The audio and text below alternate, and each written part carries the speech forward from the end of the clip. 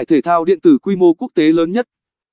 Giải đấu quy tụ hàng loạt đội tuyển mạnh nhất thế giới hiện nay. Không bốn đội tuyển xuất sắc sẽ giành vé đi tiếp tham dự vòng bán kết và chung kết từ ngày 17 tới 19 tháng 5 năm tại Đài Loan, Trung Quốc. Giải thể thao điện tử quốc tế 2019, bộ môn Liên minh huyền thoại, LMHT, Mid Season Invitational 2019, MSC 2019 là giải đấu do Riot Games sản xuất và được tổ chức thường niên giữa hai mùa giải xuân và hè ở tất cả hệ thống giải đấu LMHT trên toàn thế giới. MSC 2019 là một trong những giải đấu LMHT quy mô lớn thứ hai thế giới. Các đội tham gia giải MSC 2018 đã thu về hơn 1 triệu đô la Mỹ, chỉ sau chung kết thế giới hàng năm. Giải quy tụ 13 đội tuyển vô địch từ 13 giải đấu LMHT chuyên nghiệp từ 13 khu vực trên quốc gia trên thế giới.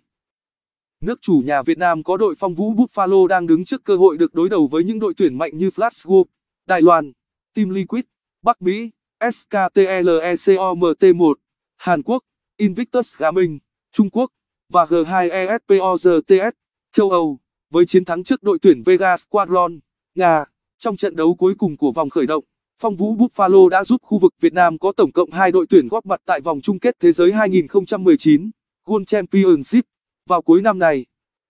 Liên minh huyền thoại là một trong những bộ môn thể thao điện tử phổ biến nhất trên thế giới, thu hút gần 100 triệu người xem duy nhất, unique viewers, tại giải cúp vô địch thế giới 2018.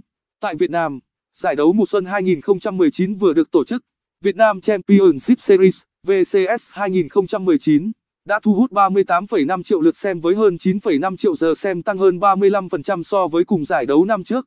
Theo số liệu của VETV, một kênh YouTube nội dung thể thao điện tử nằm trong top 10. MSI 2019 dự kiến sẽ phá vỡ kỷ lục người xem, ước tính khoảng 65 triệu người hâm mộ. Ngoài các trận đấu được phát trực tiếp trên các kênh được Riot Game cho phép của các nền tảng video trực tuyến, tại Việt Nam, các trận đấu còn được phát sóng trực tiếp trên chùm kênh thể thao của truyền hình cáp Việt Nam VTV CAP. Khôi Linh